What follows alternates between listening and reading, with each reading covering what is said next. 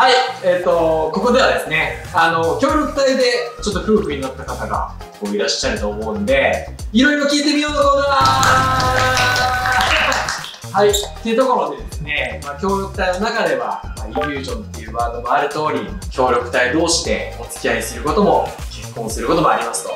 で、実際、ご結婚されたご夫婦の方がそれぞれいらっしゃるんで、ちょっといろいろ深掘りしていきたいなと思ってます。まあちょっと時には仲悪くなっちゃってる かもしれないですけど、まあそこも含めてね、ちょっと楽しんでいこうというところで、ちょっとまず改めて自己紹介、それぞれいただいてもよろしいですか？旦那で旦那です。えっと2015年1月から2017年1月まで中東のヨルダンに体育隊員として派遣されておりました遠藤です。はい、よろしくお願いします。お願いします。はい。はい、えー、嫁です。2014年10月から2016年10月まで美術隊員として派遣されていました。えー元河野マリナです。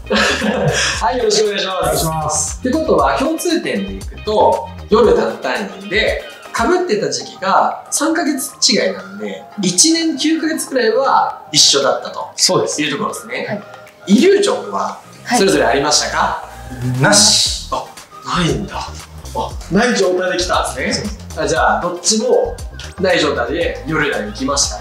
ヨルダン行って、一番最初仲良くなったきっかけなんかあるんですか？これがあまあどっちから話してもらいまちすょっと待ってくださいね。どうファーストインプレッションちょっと聞きたくて、遠藤さんが河野さんと会った時、第一印象ちょっと教えてください。怖え え、怖い人？怖えって思ってえ、待って待って。もう僕インタビューしたんですけど、え全然怖くないですけど。いやその最初に会った時っていうのがもともとあの同じ派遣の時期じゃなかったんで、うん。そんなに知らなかった確かに。存在を。で自分のやってる体育隊内でスポーツイベントとか、はい。ビスのやってる展覧会でこれをどっちか協力しないといけないんですね協力隊同士で。でたまたまその展示覧会の方に協力してこうカメラを自分持ってって撮影サポートしてたんですけど初めてだった写真を収めたシーンがブチ切れてるし 現地の先生がちょっとたまたま子供の作品をちょっと踏んじゃったりとかわーって踏んだ瞬間に「わーい!」みたいな「えー!」って思って「怖 え!」って思ってえ、撮った写真じゃブチ切れ写真だった最初の時はもう「え怒っえこんなに怒る人なの?」と覚えてないな。あっていうのを一番最初感じたわけですね。あなるほどね。えじゃあちなみにコーンさんは遠藤さんに第一印象何だったんですか？第一印象は好青年。いやもうマジか。周りからの評判すごく良くえ、て、そうなんですか？はい。どんなところで評判が良かったんですか？先輩からも、はい。下の隊員の方からも、まあ、遠藤君に任せておけば。え？遠藤君はいい人だよみたいな。マジですか？聞いてたんですけど、は一部で、はい。なんかいい子ぶってるみたいな。話もあっていい子ぶってるはねよくわかんないよね。いい子ぶってる感じあったんですか？ちょっといい子ぶってましたね。いやあれ？認知も近いんですか？認知が同じで。同じなんだ。でも1年ぐらい経つまで知らなかった。なんで？あの活動ももちろんサポートは行くんですけどあのいろいろ隊員の集まりとかあるじゃないですか。あれに自分は行くタイプなんですけど、はい本当に行かないタイプもう本当に行かない家の中にいるか現地の人と遊んでるまあまあでたまたまササポートしていったら切れてて。でそういうのが本当1年ぐらい。あったので知らなかったの？ずっと1年。遠藤さんは具体的に結構話し始めたなと思う時期は？が1年ぐらい経った時の,、うんうん。あの認知の,、うんあの地方の方のこのエリアではい。飲み会をたまたま。本当そこで初めてちゃんと喋った。何話したんですか？料理がうまかった現地にいると、まずい羊の肉とか食べなくちゃいけなくて。でそこにあの日本食をこう現地の食材でうまく料理してくれる。胃袋をつかまれた。胃袋掴んでいったわけですね。まずはお腹からです。面白すぎて。あじゃあその料理で美味しい作ったのを食べてみて。あ美味しいねみたいな感じでちょっと仲が深まってた。そうですね。その回の時のご飯を自分が結構あの先輩で作っててでうまいってなって。はいはいはい。えそっから。そうなんですね。付き合ったの夜なんですか？つけたのは帰国帰国の時ですね。ちゃんと。OK ですわかりました、ヨルダンにいた時はお互い好意はありました？あそうですね。あお互い好意はあったんですはい。なんで日本で付き合っちゃったんですか？あのヨルダンで付き合いたくないなんかあったんですか？いやこれマジックかかってんじゃねえかなっておあ互いに。イリュージョンこれイリューかジョンってないのかなそういうことだそういうのでお互い好きだったけどそこから離れ離れになるわけですよね。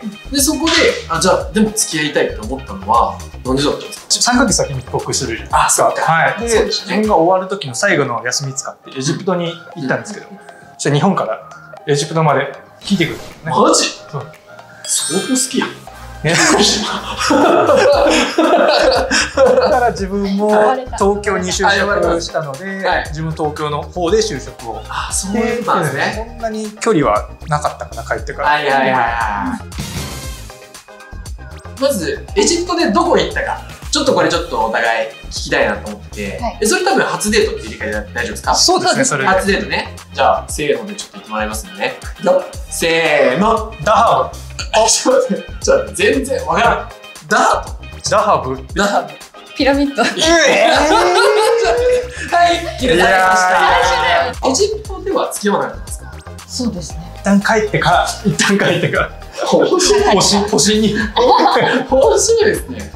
あ、じゃあ日本帰るじゃないですか。日本帰ってどうやってなんかお付き合いが始まっていくんですか？就職してからあ、東京にね、ちゃんとお互い落ち着いてから。これついたね。お互い就職をして、はいはいはいあちゃんと大丈夫だってとこから付き合うあちょっと確かに土台を作って協力隊は確かに帰った当初は職に就かなくてもいいかなみたいなあるもんね。そういうスタンスね。結婚のきっかけってところを聞きたいですけど、もう結婚していいなと思ったのは何だったんですか？協力隊時代にあんまり見れない場面まで見てるんですよねちょっと。なんかその活動切れるとことか。ダメなとかダメって言えるとことか見れたりとか、はいはいはい。もうもう仕事続けたしよし。そこだった。んですね。採用通知来た日だった。そうです採用しあ、そっか。よし。合格採用結婚みたいな。じゃあちょっと初プロポーズのところ聞いてもいいですか？大丈夫ですかね？お二人とも。せーの。アビラ。ンあハピー。だいーアビラ。ンや、わからんわからんわからん。日本ありがとうそこはもう予約して、あ、もうそれはもう遠藤さんが。あそうだ予約してして。前日にうん。ちょっとマスターに行くから。花を置いといてもらって。でしかもうんうん。自分の誕生日はいはいはい。にプロポーズしたうわ、マジ？すっげえ。自分の誕生日、う。ん普通あの彼女の誕生日とか、あのクリスマスとか、はいはいはい。イベントねイベントとかね。とかだと思うんですけど、自分の誕生日だったん。ですごい軽いノリで、あいいねみたいな感じでいはいはい。聞いたらまさかそれは狙ってたんですか？自分の誕生日だからきっと祝ってもらう側だと思ってるかなと思って。油断してました、あ、そうなんです完ね。全に。どんな感じでプロポーズしたんですか？いやそれがですねでっかい花束を用意して、でマスターにちょっとお手洗い行ってる途中に自分準備して裏から、うん。